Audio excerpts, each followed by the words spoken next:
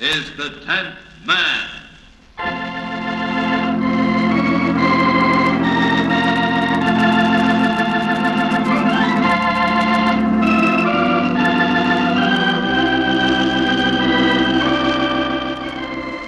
The tenth man is the one man in ten in your community who needs or will need psychiatric care.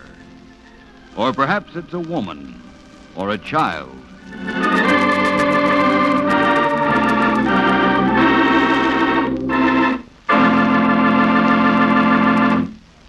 Ladies and gentlemen, this is Ralph Bellamy. The child is father of the man. William Wordsworth wrote that line almost 150 years ago, when the world was familiar with poets, but not with psychologists. Perhaps the psychologists of Wordsworth's day didn't agree with the poet, but modern psychologists do agree. The child is father of the man. We know now that what happens to us as children has a far reaching effect upon our later lives.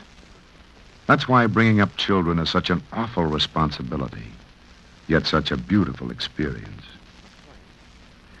The play you're about to hear is on that very subject. It's called The Child is Father of the Man.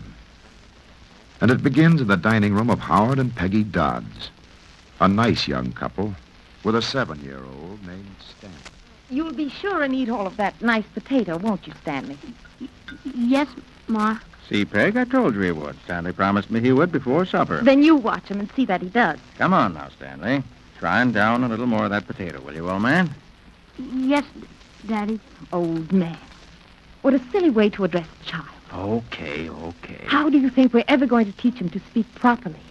Dr. Lewis, in his book on how to bring up children, says never use terms that confuse a child.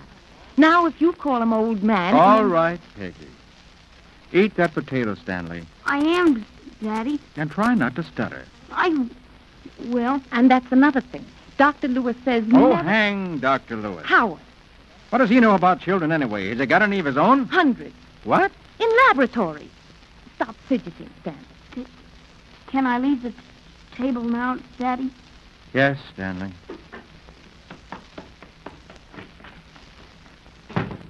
Really, Howard, he hasn't eaten the thing. Oh, let him alone, Peg. He won't eat any more through nagging. But it's like this every meal. No wonder he prefers you to me. When I try to discipline him, you let him have his own way. It's not right, Howard. It undermines his respect for me. Quote, unquote, Dr. Lewis. There's nothing wrong with bringing children up according to the rules, is there? No, of course not. Only. Well, maybe all the rules don't apply to Stanley. Maybe he shouldn't be expected to follow them. After all, he's an individual. Stanley's a normal seven-year-old boy. But is he? Peg, let's stop kidding ourselves. We have a problem child. Don't you think it's time we did something about it? Do something. As if I haven't tried and tried. I know I'm only a mother, but I do make an effort. I know you do, dear, but after all. All right, then. Suppose you tell me what to do about it. Peg, we both failed in a way. Maybe it's not too late. Let's get help now before this gets any worse. What do you say, Peg? All right. If you think it'll do any good, but where'll we go? Well, there's a child guidance clinic down on Clinton.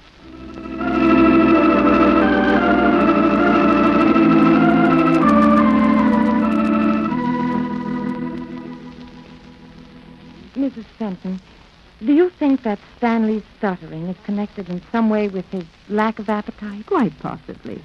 In the first place, the stuttering is probably caused by emotional tension at meals. But according to Dr. Moore's report, I'd say that the feeding problem is most important. Oh, if you only could help me with that. We'll try. Now, you said that the trouble started about six months after you took him home from the hospital. That's right. At first, he seemed to have a good appetite. Then, just after his formula had been increased, he started falling asleep before finishing his bottle. Oh? However, I kept waking him up until he finished it. Went into violent tantrums, objected strenuously, and got worse with each successive increase. And he's been like that down to the present time? Yes. What did your baby doctor say when Stanley didn't take that increased formula? My baby doctor? Why, I, I don't think I told him. He He was so very busy, I, I assumed that the scheduled increases in the formula were right for Stanley. Well, nevertheless, he probably expected to be kept informed. Well, you've told me that there's a scene with Stanley at every mealtime. Yes, he just won't eat unless he's threatened. And I gather that even threatening doesn't work. Mrs. Dodds, what kind of effect do these scenes have on you and your husband? Well, dinner time isn't very pleasant. Howard and I are bickering all the time, we're both getting so nervous and jittery. Well, I think something should be done to make mealtimes more enjoyable for Stanley.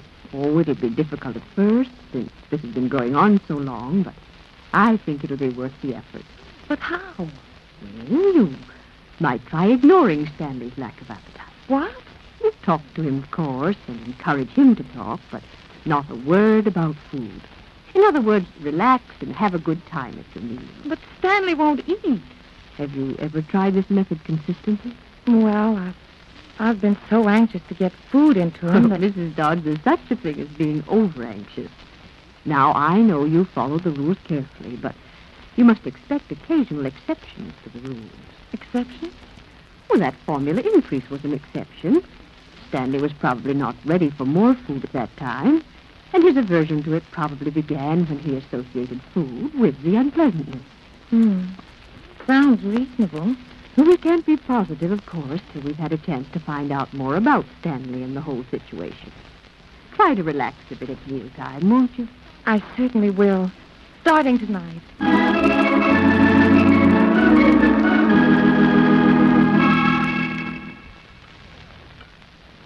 Well, I never thought I'd live to see the day. You went through the entire meal without mentioning food to Stanley. I hope this plan works out all right. You noticed, of course, that he didn't touch a thing. Not a morsel. noticed all right. I hope Mrs. Fenton knows what she's doing. Well, at least I enjoyed my dinner. Does that count? Of course it does, darling. Of course it does.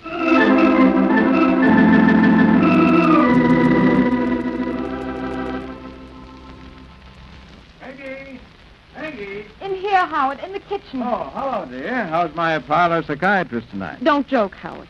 Why, what's the matter, Peg, dear? I took Stanley to the doctor today. Well, what's happened? Don't get excited, Howard. It's just that I couldn't stand it any longer. Do you know that that child has lost weight since we stopped coaxing him to eat? But Mrs. Fenton told you to expect a little drop in weight at first. At first, yes, but it's more than a week now. Oh, darling, a week isn't very long to break down habits of seven years standing. Oh, it's no use. Here we are, right back where we started. What have you got in that paper bag? Oh, um, an extra lamb chop. What for? I, uh, stopped by and asked Mrs. Fenton to have dinner with us. You what? Well, her idea wasn't working out, so I thought maybe if she did a little field We'll work... get out there and straighten up the living room. If we're going to have company for dinner, I've got work to do.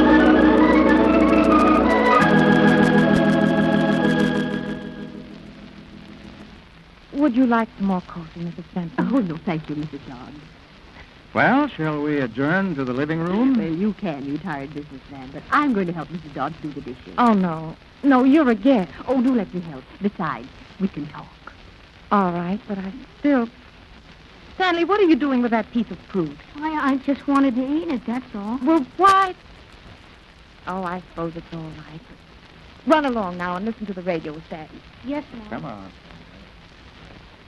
Mrs. Fenton, wasn't it strange that Stanley should have picked up that apple? He didn't touch his dinner at all. Hasn't his appetite improved any since you stopped coaxing him to eat? Not a bit. He's losing weight so fast. Oh, I give up. I- I don't know what to do with him. Oh, this is no time to lose your morale. Morale? I don't think I ever had any. I've never felt at ease with Stanley. I never enjoyed raising him the way other mothers enjoy their children. Mrs. Dodd, did you want him when he was born? Oh, yes. Howard and I were so happy. Oh, I've tried so hard. Everything seemed to go wrong. Well, I once suggested to you that perhaps you tried too hard, and I'd hoped that you'd taken But I did take your suggestion about the coaxing. I haven't said a word to Stanley about food. I see. You don't say anything at all to him now. I guess I don't. This, This ordeal by speeding has always stood like a wall between us. He'll grow up thinking of me only as a dictator or something. Oh, it shouldn't be like that. Children need love, but they must get it as affection, not as the kind of discipline which they can't understand. Too late now. Oh, no, it isn't, my dear. But you mustn't give up trying. It's so very important. Now, don't be afraid of making mistakes, and always watch for the slightest sign of improvement. By the way, did you notice that Stanley isn't stuffing as badly as he used to? That's right.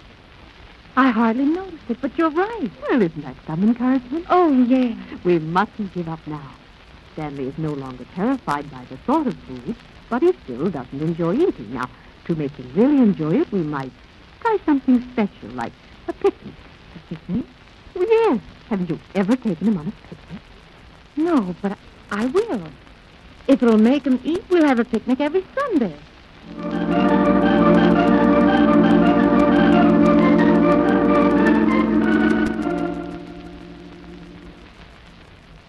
Oh, oh, oh. Peggy, Mm-hmm. Now that the summer's over, what are we going to do about these picnics?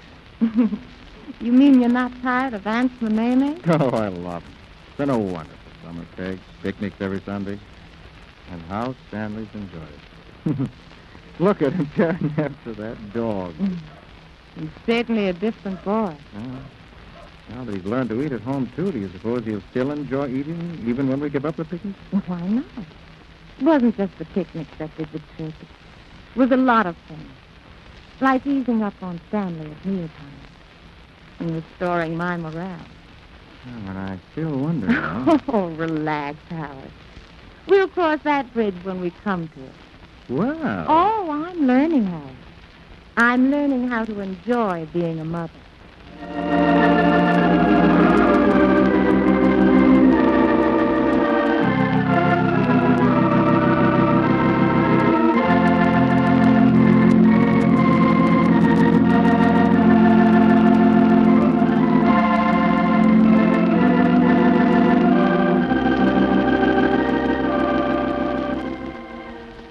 Have just heard The Child is Father of the Man, a presentation of the National Mental Health Foundation and other organizations dedicated to the preservation of mental health.